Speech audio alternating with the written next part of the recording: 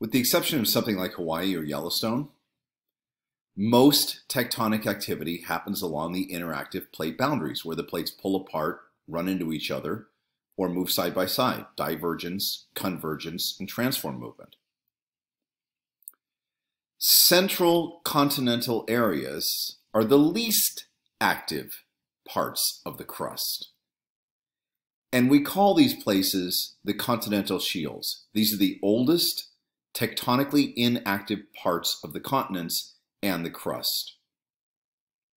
Take a look at this photograph from the big island of Hawaii. That road was built something like four decades ago. You can see that there's solidified lava on top of it. Which thing is older, the road or the lava? There you go, the road.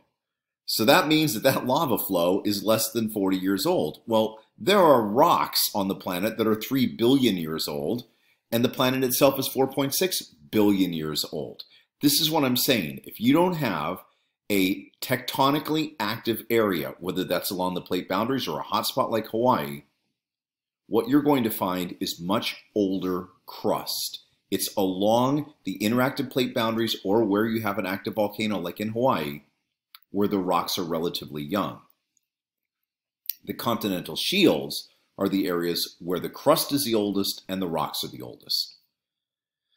If you look at both of these maps, first the one on the left, the green indicates the continental shields. These are the oldest parts of the crust. Then if you look to the right, you can see the area around Hudson Bay that includes southern Greenland. This is actually the oldest part of the crust, at least as far as anybody knows today.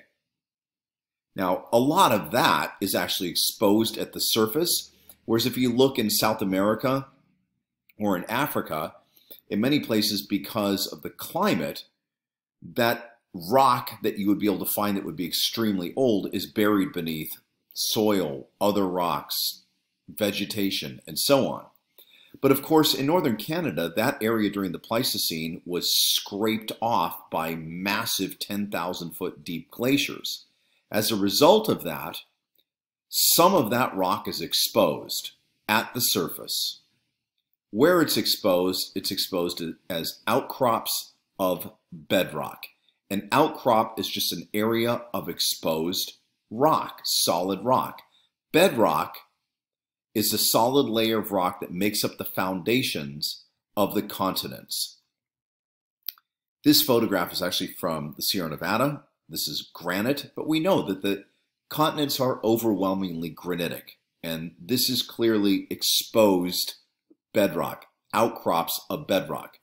If you look, you can see that there's forest also. Well, over time, as the rock breaks down, and there's areas that plants can actually hold on because there's some amount of soil and water accumulation, eventually the plants begin to take over. However, if you've scraped it all off with glaciers, this will take a long time before that happens. And that's what's going on in the Canadian Shield, the area around Hudson Bay.